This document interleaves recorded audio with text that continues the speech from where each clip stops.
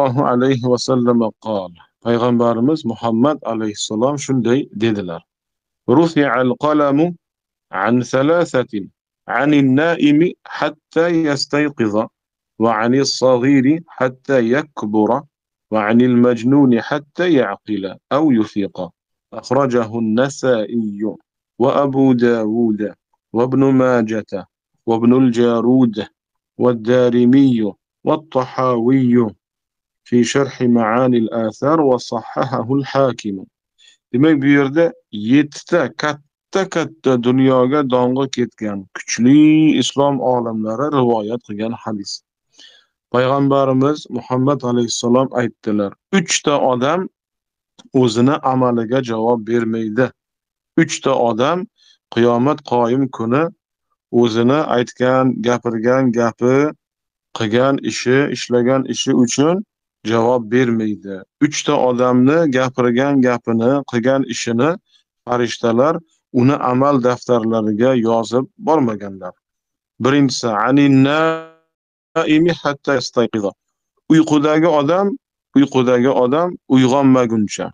Shu uxlayotgan odam uxlayotgan odam uxlab yotibdi. Uyqu vaqtida nima degan bo'lsa farishtalar uni zarariga yozib qo'ymaydi. Agar uyqudagi odam uyqudagi odam harom gaplarni gunoh gaplarni aytgan bo'lsa ham uyqusirab aytgan bo'lsa ham bu uning uchun gunoh deb yozilmaydi. Bu uning uchun gunoh deb yozilmaydi. Nimaga?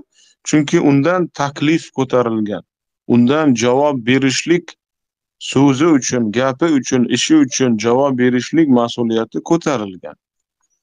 Bu ham allohni rahmatidan bir nishona. Va anis-sag'iri hatta yakbura kichkina bola balog'atga yetmagan bola balog'atga yetmaguncha yetmaguncha. unga gunoh yozilmaydi.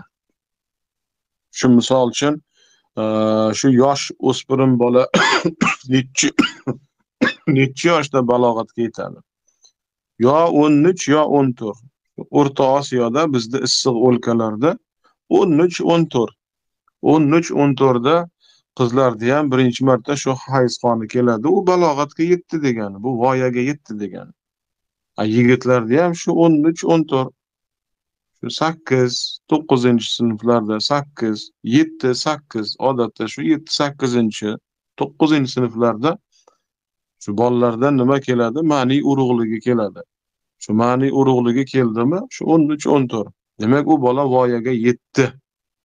U bola voyaga yetdi. Agar uylansa ota bo'ladi nasib bo'lsa o'sha holatda. Endi to'g'ri. Mana hadisda aytilgan voyaga yetmagan bola balog'atga yetmaguncha. Norasida bola deyiladi bizda. Voyaga yetmagan balog'atga yetmagan kichkina bola shu voyaga yetmaguncha. Voyaga balog'atga yetmagan bola. Э, so'kinsa harom gaplarni gapirsa din qaytargan din tiygan ishlarni qilsa farishtalar uni unga qarshi e, uni unga qarshi bir gunoh sifatida yozmaydida. Chunki u voyaga yetmagan balog'atga yetmagan. Lekin odob yuzasidan tartib yuzasidan ota ona ustoz u bolani tarbiyalash kerak. O bola unaqa dema. O bola so'kinma. O bola unaqa dema. O bola g'iybatdan to'xta odat qilma. Tarki odat qiyin bo'ladi o'rganib qolasan. Kasal bo'lib qolasan yuraging kasal bo'lib qoladi. Unaqa qilma deb tarbiyalash kerak. Ustozlar ota ona tarbiyalash kerak.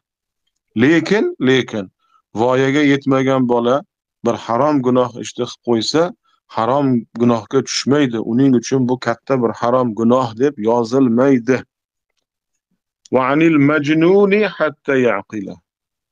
Mana majnun deymiz. Bizda o'zbek tilida aqldan ozgan deydi yo jinni bo'lgan deydi.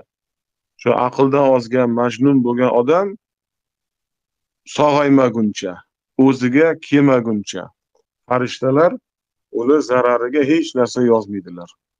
U dinga qarshi gap gapiradimi harom gunohlarni qiladimi farishtalar unga hech narsani yozmaydi. Gunohlarni yozmaydi. Nimaga? Chunki u qiyomatda o'zini gapi gapirgan gapi qilgan ishiga javob berishlik mas'uliyati undan ko'tarilgan. Undan taklif deyiladi ko'tarilgan. Bu hadisni kim rivoyat qilgan? Imom abu davud o'zini sunanida imom an nasaiy o'zini sunanida kichkina sunan al mujtaba ibn moja o'zini sunanida ibn al jarud degan muhaddis bo'lgan juda ham kuchli muhaddis o'zini al muntaqo degan hadis kitobida rivoyat qilgan. Imom ad darimiy o'zini mana musnadida samarqandlik muhaddis ahmad ibn hambalda mana maqtoviga loyiq bo'lgan imom ad darimiy samarqandlik muhaddis darimiylar ham ikkita. Bittasi boshqa joydan ikkinchisi mana samarqanddan. Biz mana shu samarqandlikda aytyapmiz. Imom buxoriyni ustozi.